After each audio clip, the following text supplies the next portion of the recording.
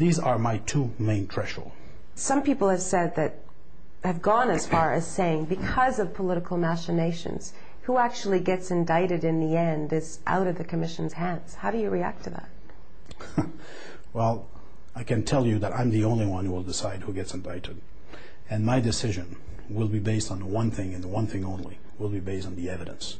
So whoever wants to do machination or whatever, I mean, good luck to them because I've been in the business for a long time. And the only thing that drives me is the evidence. And as I said, I will indict when I'm ready to do so, not one minute earlier and not one minute later.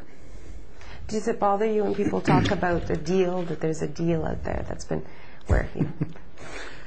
like everybody else, I've heard that. Uh, they talk about the liquor, the, the Lockerbie type deal and so on. There's nothing I can do about it. All I know is what my process is about. Is that we have a mandate, we move forward, and the only body that could stop us, basically, is the Security Council. So as long and and, and frankly, my we're aware of the political issues surrounding us. Of course, we navigate through that, but at the end of the day, my process is a legal process, and my team is not influenced, nor am I, by political consideration.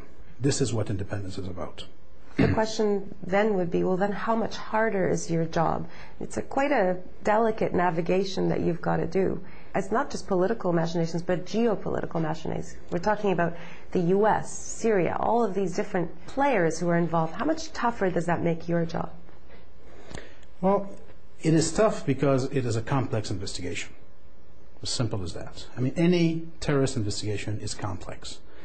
And to find the evidence in uh, um, an explosion, a murder of that magnitude, of 1,800 kilos of dynamite, I mean, this is quite unheard of, that amount of dynamite used in, a, in a one killing. And the, the to, to, find the pieces takes a long time. So, so I'm not worried about anything else. What I'm concerned with, focused on, is to get to the bottom of it, to get to the truth. And at, at some point, it's important not to be, uh, not to be um, um, put off or, or, or just uh, um, misguided by things that are not relevant to your to your investigation. So, so as I said, we're we're quite focused.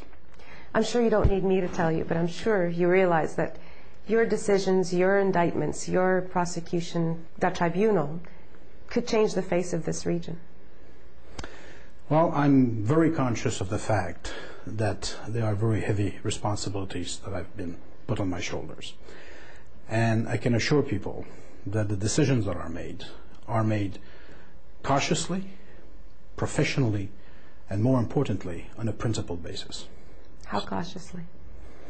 Cautiously, you need to be aware of what's going on. But at the end of the day, you should not be uh, influenced or governed by some possible consequences of your decision. Otherwise, then you would no longer be independent and you would be playing those who want to play you.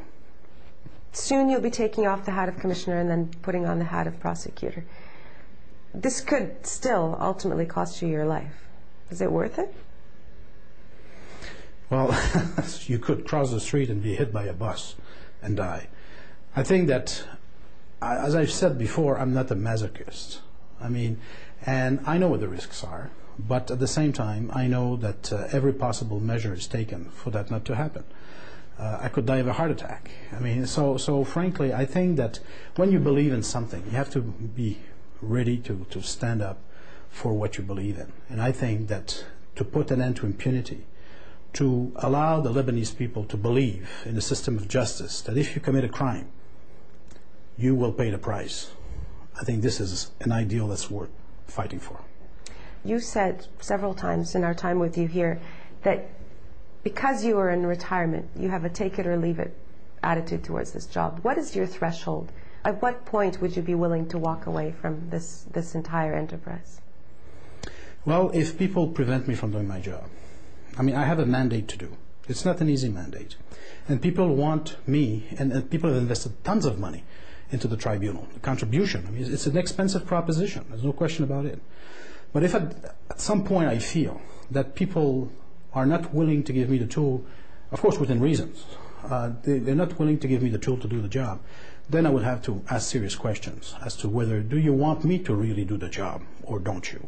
And at that point, um, I would have to ask myself, do I stay on or do I go back to retirement? Would you ever visit Lebanon again?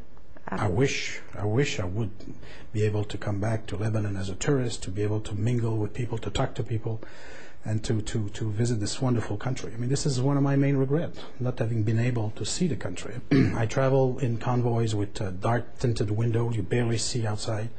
Um, and, and what I know of Lebanon basically is the road between here and the airport, or the Grand Sarai, where the Prime Minister is. But in a way, it'll be a relief for you to leave. Not really, you know. I'll be leaving with a lot of regret uh, because this is a place that, notwithstanding the the environment in which you operate, it, it's it's a wonderful country. I mean, you really get attached to people, the the, the, the people of Lebanon, and um, it, it's uh, I got used to this country, and I really like it. And if I could, I would stay. Thank you very much, Commissioner. You're welcome.